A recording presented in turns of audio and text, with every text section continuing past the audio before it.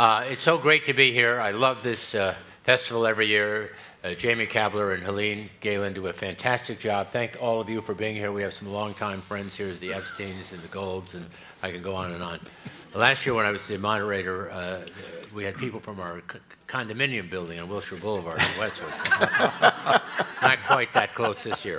And my wonderful wife, Sharon Davis. So, um, so we're going to talk about uh, higher education, uh, why it's important to you, what it does beyond just educating your children, how it contributes to the economy. Uh, and we've got a very distinguished panel. Um, Max Nikias, I've known for 25 or 30 years. He was a great president of USC, president emeritus.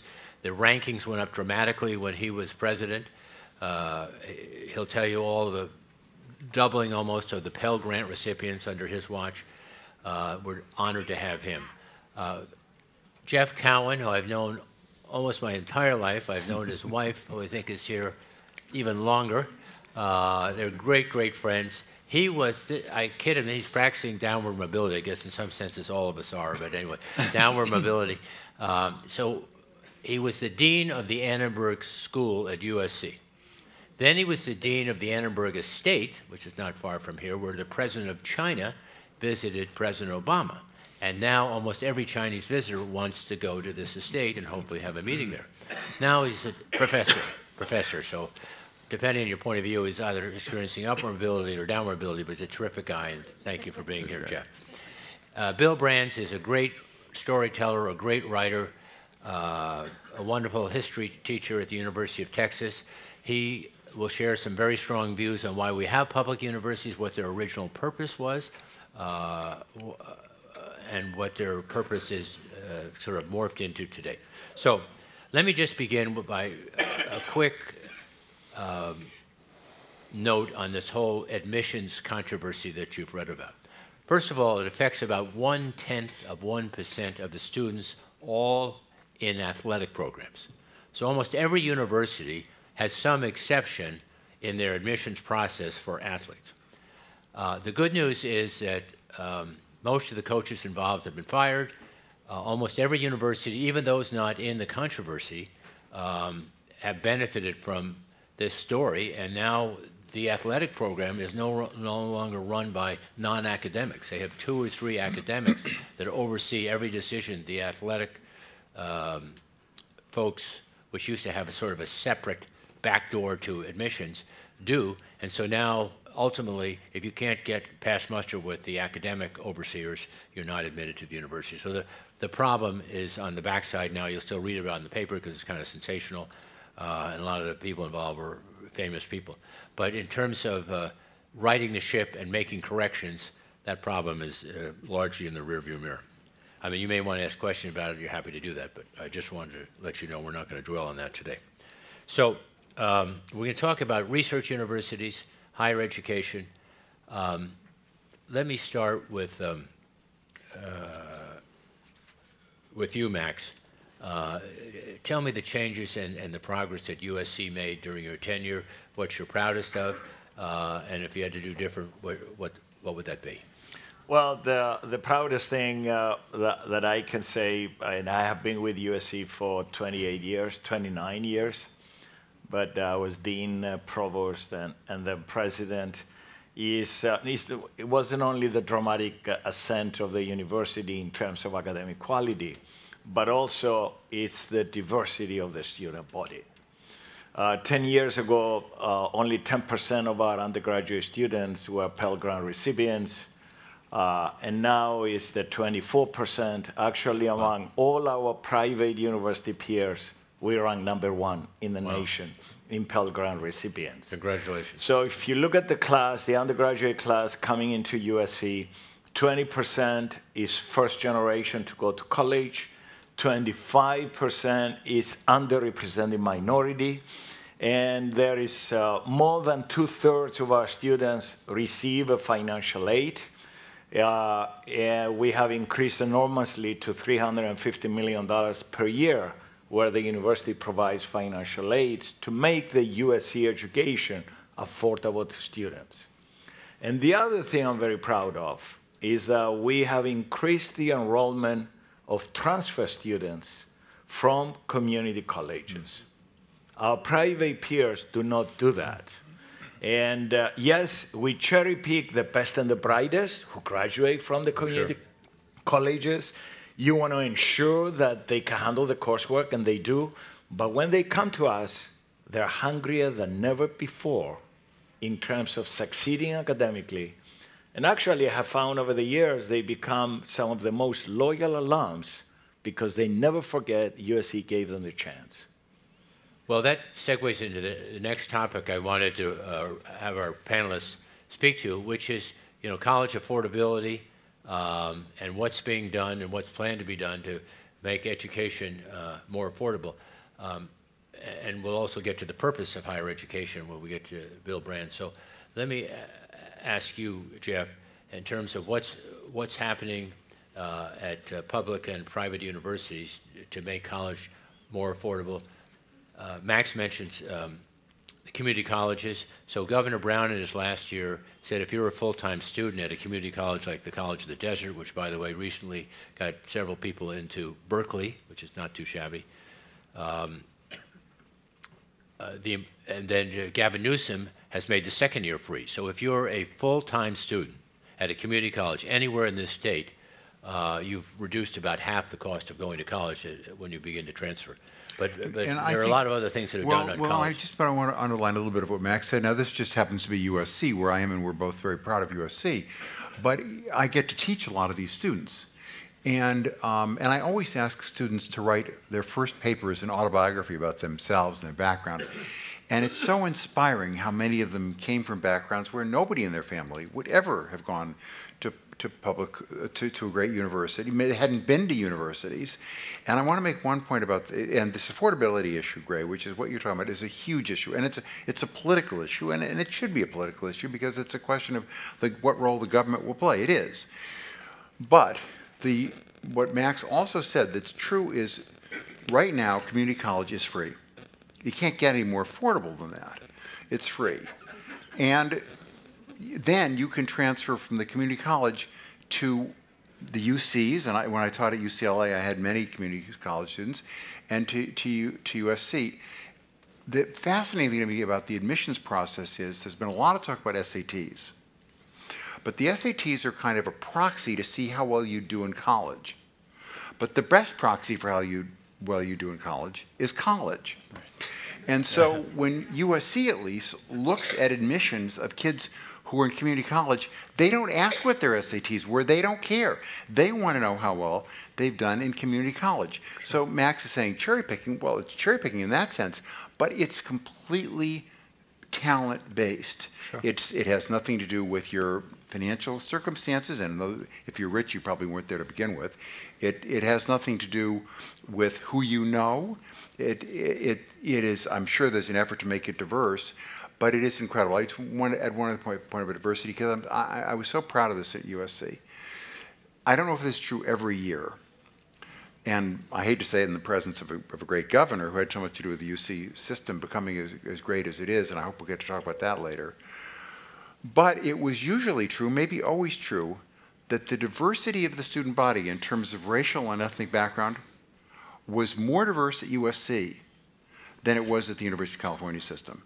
And, and this is something when you read other criticisms of USC, and many of them are valid, but you don't read that. And as somebody who's a part of the journalism world, it's always been a disappointment to me that we don't have that part of the story too. well, you're part of the journalism world, so you can, Uh, believe me, I bring it up as often as I can. I brought it up here.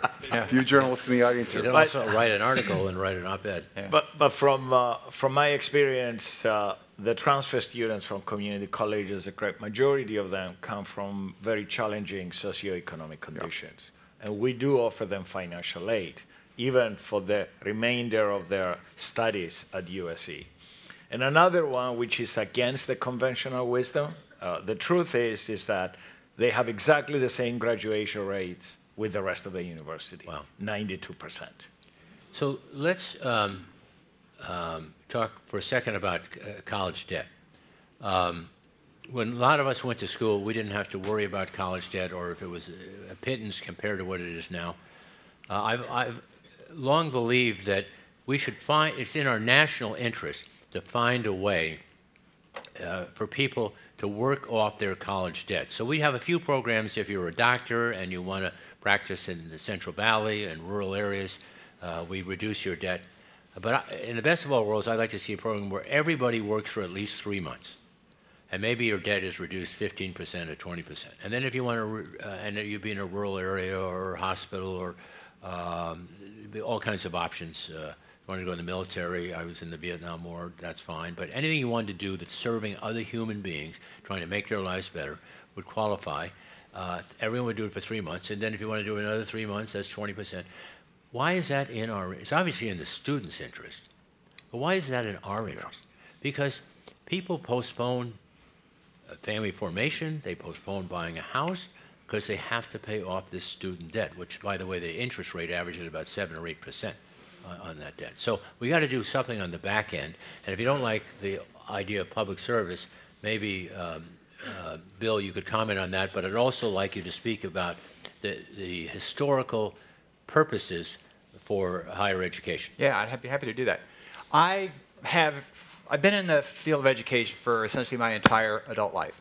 And I attended a private university here in California. I attended Stanford. I taught at a private university for a while, Vanderbilt. But most of my time has been in the public university realm. I spent 17 years at teaching at Texas A&M in College Station, Texas, and I've been now 15 years at the University of Texas in Austin.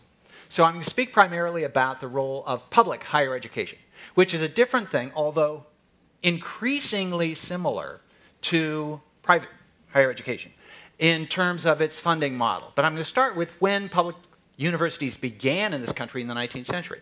And they were originally the land grant universities. And the idea was, and this is why so many of them are called A&Ms, agriculture and mechanical. These were higher education. They weren't called universities. They were nearly all colleges at first. And they were directed at providing practical education, practical scientific education. So farmers, so mechanics, the engineers, could learn the latest techniques. And so they could make a contribution to their own lives, to their communities, but also so they could be part of the engine of American economic development. And public university education remained extremely affordable through the 1960s and the 1970s. In fact, as uh, I think you said, as affordable as can be with the GI Bill, for example, after World War II. So vets could go to school for free, and they had their living expenses paid as well. And again, this philosophy that public education, in this case, public higher education, is a public good, persisted. And because it was a public good, it was a public good like dams and highways and infrastructure. Consider it intellectual infrastructure. And, the, and, and, so, therefore, it deserved to be supported by the public. Even if your child didn't go to college, you benefited from the fact that this was a better educated economic system, this was a better, better educated citizenry. Things changed starting in about the 1980s. And part of it, part of it was the, the conservative shift in American politics generally. And the idea became, first of all, let's shrink the size of government. And so what has happened in nearly every state in the country is that the share of operating expenses of the public universities paid for by the state legislature, that is by taxpayers, has diminished, diminished drastically from probably about 40% in Texas, where I teach, to around 12% this most recent fiscal year. That money to pay for the education has to come from somewhere. And so it comes from increasingly students. I arrived at the University of Texas as a graduate student in 1981, and a year's tuition was something like $800. And now a year's tuition is around $12,000. It's still relatively affordable compared to private universities, but that is an enormous jump. So students are expected to pay that. It used to be the case that an enterprising student could work his or her way through college. You could work part time, you could work summers, and at the end of your college career, you wouldn't be in debt. But when the, the tuition increased, then students began borrowing money. So with the result now that the average student who comes out of a public university having borrowed money has something like $28,000 in debt. So it really changes the model. Now, a challenge for public universities, if they still call themselves public universities, is to figure out how to get that back down, to make it affordable. And various things are being done. In Texas, there is a more a closer integration of the community college as the four-year college. We're talking about this. And so it's much more common for students to spend their first year or two years in a community college. Now, community college is not free in Texas, but it's cheap. And one of the things that makes it inexpensive is that in community colleges, most of the students of traditional student age, college age, live at home. So they don't incur the extra expenses of living in a dormitory, an apartment, or something like that. And so that makes, oh, and the other thing is that the, the Department of Higher Education in Texas has thoroughly integrated the curricula at the community colleges with the four year universities. So you know exactly what courses are going to transfer and what credit you're going to get. That has made a big dent in this. Now, there's something, and I'm all for this. There is a more recent reform that I'm somewhat ambivalent about, and that is to start giving college credit to high school students for classes that they take in high schools.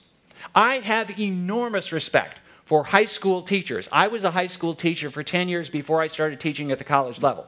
And I have enormous respect for my colleagues who teach high school.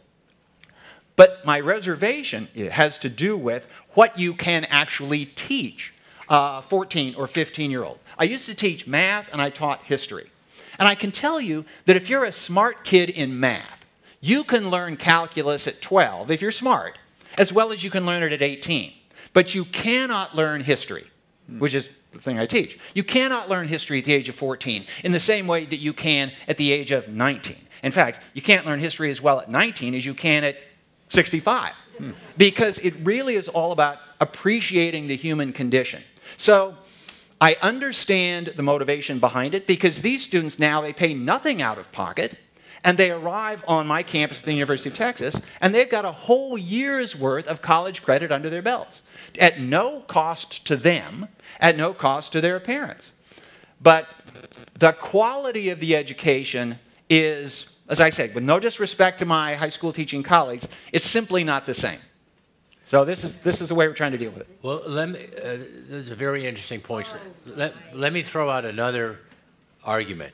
So this, uh, the millennials live their whole life on their phones. They shop, they buy, everything, entertainment, everything is on their phone. So they can understand why every university doesn't have some kind of online educational program for which they can get credit. Uh, now, Harvard has had an online degree for 15, 20 years. And there are some private schools and maybe some public schools that do that. Obviously, um, you don't have to make all the courses online. I've often said uh, to professors in California, if you don't want to make, put your course online, don't put it online. But if you want to put it online, you can participate in some of the revenue, and your course will have a, you know, a broader reach. You'll affect more people. Um, it's just surprising to me how much resistance there is uh, in uh, the educational community to, uh, at least public education, to uh, online programs. But it, obviously, it could be used to reduce, further reduce the cost of education. Maybe you could make, in your major, let's say, you, I'm just making this up. In your major, you'd have to attend in person, but the uh, extra courses you were taking that don't go to your major, maybe you could take them online. There's a zillion ways you could, you could divide the pie uh, I just want to see if there's some, uh, again, with an eye towards getting more people educated, which increases GDP. People do something with the money when they make money. Uh, obviously, they're philanthropic. They uh, support their kids. Uh, they invest in business. They hire people. The, the, government tells me they pay taxes. I'm not part of the government anymore, but I think that's part of the process. So a lot of positive things happen when more people get educated. I can comment on that, uh, Governor, because I gave a series of lectures in the UK last fall about the future of online education and uh, what we're going to see in the next decade. In my opinion, is uh, is the next revolution in the area of education. Uh, by the year 2030, families and their children are going to have many, many more choices in terms of how they would like to see their child being educated. And uh, the online colleges that uh, they will be non-profit and they will provide the quality of education are also going to be less expensive. So in other words, you're going to have to pay more if you like your child to go to a university campus and also have the residential experience. But without the residential experience, then you'll be able to pursue an undergraduate degree or a graduate degree online, and it will be much, much less expensive. And what is going to cause this new phase of revolution in online education is AI, artificial intelligence. Uh, there are so many business startups and so much investment in this area. Uh, to me, is unprecedented and it's going to explode in the next decade. Does anyone else have? Well, I, comment on I mean, I totally agree with this, and, and I was uh, personally, for a long time, kind of resistant to the idea. Let me ask you this. So, but are we going to have two classes of education, one that's online and one that's Well- not well, online? I- I- or is that going to put some I think- pressure on the more traditional? Gray, I think it will, it will be in, in ways you can't predict yet. But for Yep. example, our daughter, who's pretty privileged, uh, is a grade school teacher, and she has two small children. She takes a class at Harvard. She has a graduate degree in education, but now she's stuck in California, if you want to say that. Right. I mean, we're happily there. But she's been taking an intense class at Harvard a specialized class in education, and it's been fantastic for her. I think that this is going to become a very diverse thing in all kinds of ways. Don't you think, Max, that people can't predict yet? And I don't know how much of it's happening at uh, UT Austin. I'm sure it is. So I have a couple of comments on this. One is that I think that Max is exactly right, that it is going to open this up to, it's going to open education up to people who don't want the traditional college experience. and maybe these are 18 year olds who are going to stay home. It's more affordable to do it. But I see especially an opportunity for people who are 50 years old and they want to or they have to retool. Mm-hmm. That the job they had isn't satisfactory, the job disappeared. And now they can do this without disrupting their lives. In my experience, I've been involved in programs that do distance education. And the most appreciative students, the ones who get the most out of it, are the ones who simply could not do this program if they had to move to my campus, if they had to give up their job, because this is stuff that you can usually do on your own time around whatever else you're doing. And I can tell you that these are the most dedicated students there are. When I taught in community colleges, I really appreciated my students probably more than the students I have now. I love my students now. But the students that I have now, the University of Texas is, is really hard to get into. It's very selective. And so the students who get in are ones who essentially you can't get into the University of Texas unless you're a straight A student in high school. And you have to take the right classes. But those students are all sort of really good students, and they've always expected to go to college. And so it's no big deal in their minds for them to go to college. But to get someone who wants to re educate himself or herself 20 years after, maybe missing college, and this is an opportunity. So that is a really a really important deal. Now, there's a challenge to the existing world of higher education, and it has to do with what's the value of a college degree? And so, I mean, if I were president of Harvard, I would, I'm sure the president of Harvard is thinking very carefully about how many people you want to let into these online programs. Because one of the measures of a Harvard degree, a Stanford degree, Princeton degree, USC degree, name it, is its scarcity value. And if everybody can get in, then it loses that part of it. But it's really going to put colleges and universities on their mettle to be able to demonstrate what it is they teach. And so, you know, if you get into the right college, and we were talking about the admission scandal, well, there's great pressure to get into the right college because if you just tell people, I got into USC, I got into MIT, I got into whatever, that sticks with you because there's this brand of the seal of approval. And it's almost independent of what you actually learned when you were there. And so I would love to see these online opportunities really upping the game of prestige universities so they can really demonstrate what value we add to the lives of our students.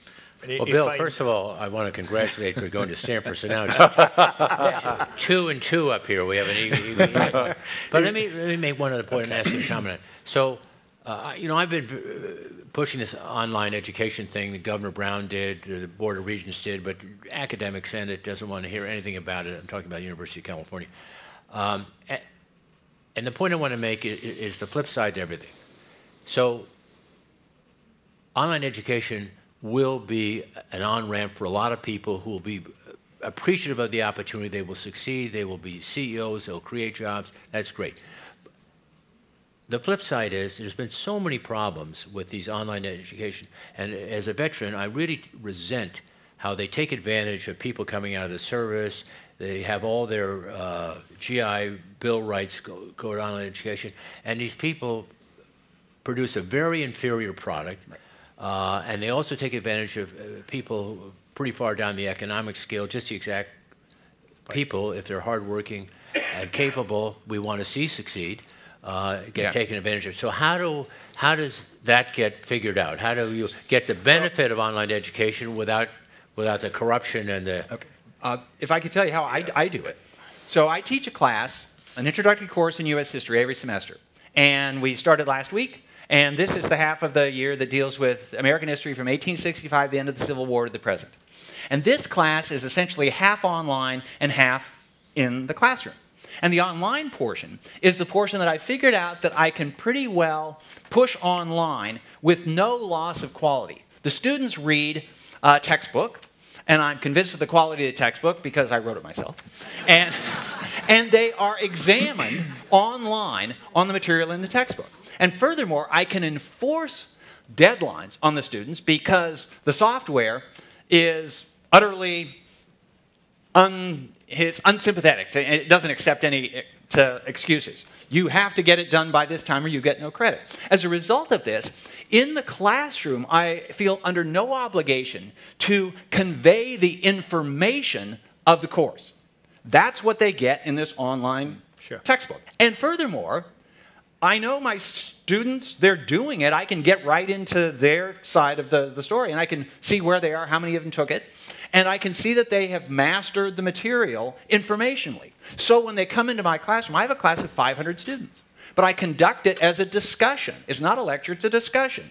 And they do writing exercises for me. We have a discussion. I could not do this without the technology of, as I say, so this is a half online course. And that's the way, that's why I'm doing it. Other people do it other ways. Max, all my courses I have taught at USC the last 30 years, they were all online, with the exception the classics one I did as president of the university.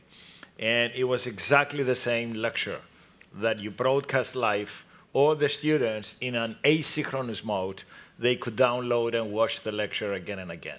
And I have students in class and also have students from all over the country. Uh, uh, taking the class. So this way, if you do it this way, you do not compromise the quality of the instruction and, uh, and the material. Going back to your comment, uh, Governor, about uh, uh, what happened with the online colleges, that they took advantage of a lot of our students. Uh, those colleges, they were for-profit, and they had no admissions criteria. They uh, their graduation rates, uh, they were anywhere between 30 to 40 percent. And uh, all these students, they were getting student loans, and uh, the default rate of the student loans for those for-profit colleges was 50 percent, when for everybody else, including the research universities, was less than 2 percent. So, uh, and that's why the Obama administration uh, really went after them and regulated them. Right. So let me switch gears slightly. Um, first of all, I'm sure. Uh, would you raise your hand if you if you're a resident of California? Okay. Um, I want uh, you to learn something that I learned from Alan Greenspan. I was the governor of California in 99, 2000, and he always wanted me to have him visit at the Federal Reserve, where he was the chairman. Uh, um, and so my family still lived on the East Coast, and on the way back, we went to Sharon and I went to Washington, and we spent about four hours with uh, Alan Greenspan because it was a holiday, it was the day after Christmas, and um, he was. I, I, I, was trying to get some assistance on the energy crisis. He said, I can't really help you there, Governor, but I don't want you to feel sorry for yourself because you have something no one else has. You have far more research universities than any other state. I just assumed Massachusetts had more than we did. Oh, no, no. You have then 12, now 13. 10 are, 10 are the UC campuses. Uh, Caltech, Stanford, and USC are the other three. Massachusetts has seven. No other state has more than five. Now, why am I telling you this? Because just the UC system, forget Stanford, Caltech, and um, uh, USC for a second, just the 10 campuses generate four times as many patents every year as do all the private and public universities of every other state, which is not Massachusetts, it's New York. So we are a idea and patent factory. And all that leads to startups and to jobs. And I don't know if you've been looking lately, but the last two, three, four months, California has been, actually for the last couple of years, greatly outperforming the rest of the nation in terms of job growth and GDP. And in terms of taxes, I would say, and, and that's why we're the home of Google, Apple, Facebook, because they need to be close to research universities and they need graduates coming out of those universities that are capable employees. And what does that mean in terms of revenue? I would say 40% of our taxes come from the technology, life sciences uh, industry broadly viewed in terms of venture capitalists and all the uh, supporting companies. Well, that's money goes in the same pot that supports public schools, transportation, mental health programs, everything else. So it's a, it's a real economic upside to have those universities uh, in California. And I, Go ahead. No, go well, ahead. I just Mike Pompeo was Secretary of State, of course, and you might not think he was thrilled with higher education, but he had a meeting two weeks ago, I think, with the presidents and provosts of the major California universities, public and private, and he made the point and understands the point that the growth, um, growth in American economy comes out of exactly this in gray. When you had a surplus at one time, you gave $100 million to several different universities, Right. totally transformed them, become great research universities. Max started his career in large part, his, his famous career, by having a, a major research uh, uh, lab. Um, but Pompeo saw this. And why was he meeting with university presidents? Because he's afraid somebody else will steal it, Right. specifically China. Um, and there are all kinds of thefts. It's not um, necessarily illegal thefts, but there are things that could be made much more difficult for them. And I think that that element of the American economy that higher education provides is so important. And although Pompeo thought it, which I understand, so I think is great, I don't think it's fully appreciated by those people who fund education. Our uh, top research universities uh, take the AAU club of the top 62 research universities. It is still the envy of the world. Oh, there's no question. the best and the brightest from all over the globe. I live and breathe with it. I see the, I've I've been seeing the applications throughout my career. Everybody wants to come and get a degree, the best and the brightest from all over the world, from one of these universities. And not just an undergraduate degree, also masters and PhDs. And we graduate uh, more than 85% of the PhDs in the country. And uh, this is the human capital that contributes to this economic growth of the nation. And I can share a little bit of story with you uh, since we have Bill from Texas. I got to know very well the uh, current governor of Texas, Greg Abbott, because a little secret, he was a USC dad. His daughter studied there. Okay? And this is what he shared with me one day. Uh, he shared with me a study that he had his own analysts do that after the 2008 economic crisis, the state in, Cali- in, in the United States that has the fastest economic growth and very quickly was California. And he asked his people to do the analysis why? Why California and not Texas or anybody else? And the conclusion was exactly what you said earlier, Governor. It was our research universities in California, the students that we graduate. I got news for you, and I'll be telling parents all my life when your sons or daughters graduate from our universities, they do not want to leave the state. and they contribute greatly to the economic growth. So let me tell you a story about um, uh, um, the, the, these uh, $100 million grants. So in the uh, dot-com boom, we had a lot of money, and I wanted to spend some of it on capital improvements. So I said, let's, uh, and I actually got this fellow from idea from Richard Lerner, who was the head of the Scripps Research Institute in, in, near San Diego. Um, so we had a competition to see which of the public universities could comp- uh, would win this uh, grant. And they all linked up with two or three other universities. But the UC systems did not want to choose. They didn't want to choose between a UCLA and a UC San Diego and a UC Riverside and a UC Berkeley. So your predecessor, Steve Sample, David Baltimore, who was the president of Caltech, was a Nobel Prize winner, John Hennessy, who ran Stanford, and Richard Lerner were the honorees, or not the honorees, were the, they, they were the deciders. So the legislation which I proposed and signed said there would be three grants of $100 million each. The, these four people called me up, I just mentioned, the, the admissions committee, for lack of a better term. Uh, and they said, We have good news and bad, Governor. What? Give me the good news. Uh, the good news is we've picked three, and here they are. I said, Well, what's the bad news? And they said, Well, Berkeley is not one of them. I said, Well, kick one out and put Berkeley in. No, no, we can't do that, Governor. You have to go back and get another $100 million. So. But the one that's been the most successful, we have the Qualcomm Institute of San Diego. When people come from Tokyo, to Europe, they come from uh, Saudi Arabia, they come from uh, Europe to see if they have the innovation gene. They decide they do not, and they invest in that research. Uh, the Nanosystem Institute at UCLA, apropos of China, the science advisor to President Xi of China spent eight months there trying to learn and, you know, appropriate, I don't want to say steal, but, uh, you know, anything he could so they can copy it in China. But the, and they've all done very well. But the real home run is the Quantitative Biosciences 3 Institute, which is in uh, Mission Bay, San Francisco. This used to be, there's a person attending this named Nelson Rising, used to be the president of uh, company I'm forgetting, but it owned an old railroad, uh, rights an old railroad track. It was unused, nothing going on there, no property value at all. And so we converted all that land, uh, built an institute. Um, Genentech built a spectacular institute right next to us. These are like six-story buildings. I don't, six-story. I don't mean two people, like 200 people working. All kinds. The Goldsmith Institute, Bayer Aspen has an institute. Uh, um, that is now ranked number two, right behind Harvard and MIT, and it wasn't really built until 2008, 2009.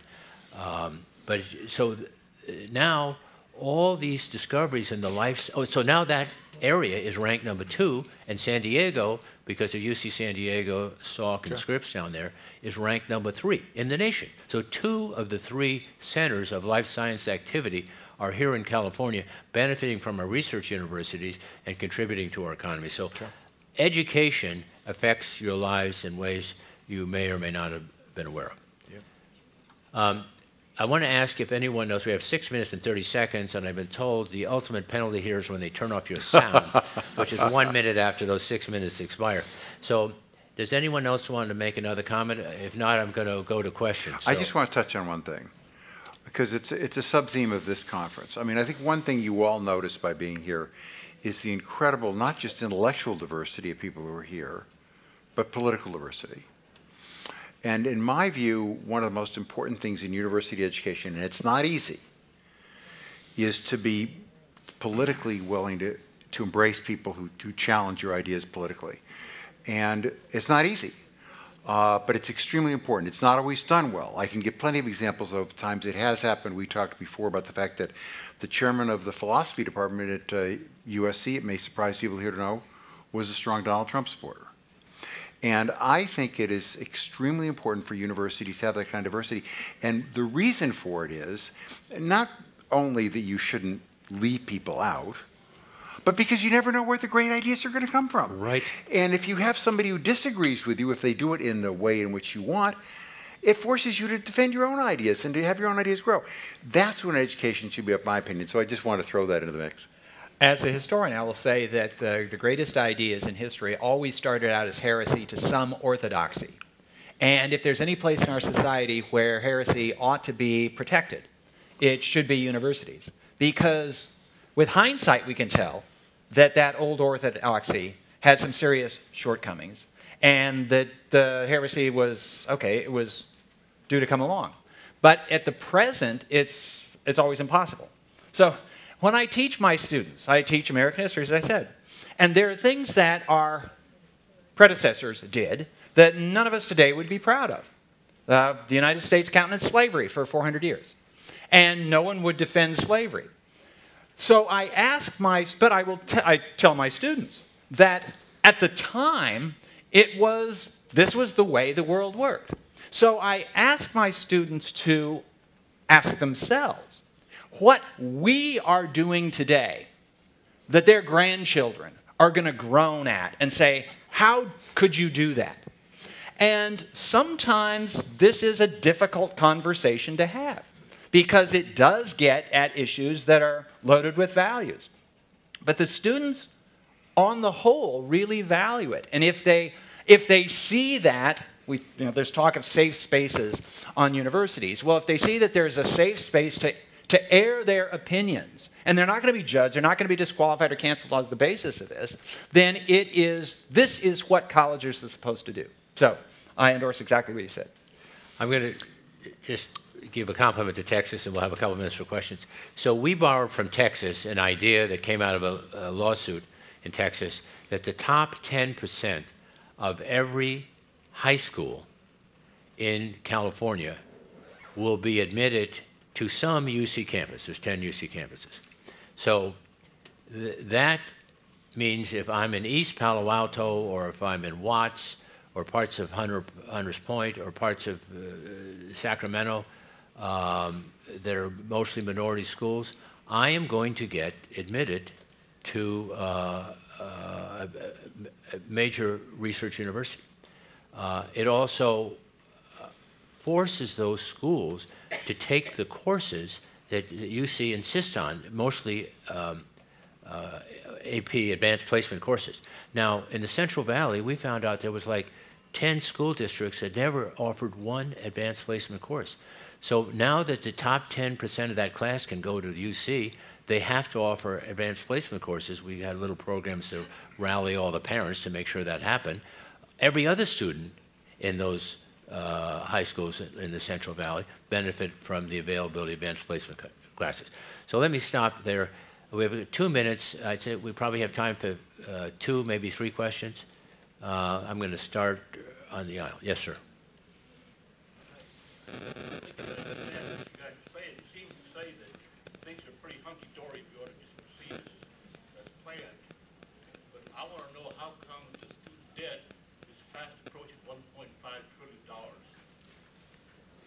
Max? Uh, there are several reasons for that, but I have. Oh, I'm sorry. Why the student debt has reached 1.5, 1.6 trillion dollars?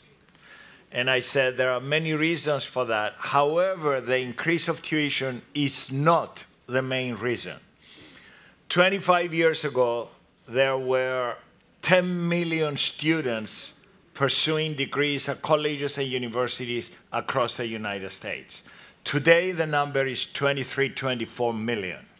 In other words, the number of people, of students who want to go to college has increased enormously. And uh, in my opinion, this is going to become no different, it's already becoming, than healthcare. If I get sick and I have, God forbid, a serious illness, I expect to be treated, and I don't care who pays for it. I'm entitled to get a first class education because I'm a citizen of the country, and therefore I don't care who pays for it. So, in other words, it's becoming an entitlement like healthcare, which, by the way, it's a great thing because education is the greatest equalizer of society. The second reason that it became 1.5, 1.6 trillion is because more and more just getting one degree is not enough. And therefore, you have to pursue a master's degree or probably throughout your career or changing jobs in many different careers, you have to go back to school and uh, get a master's degree again and again and again. So we have many, many more students now who pursue graduate degrees. And, uh, and of course, they borrow to pay for the tuition. So those are the two main reasons of the increase. Unfortunately, our, um, our time has run out, but we really enjoyed this experience. Please give our panel a, uh, a nice round of applause.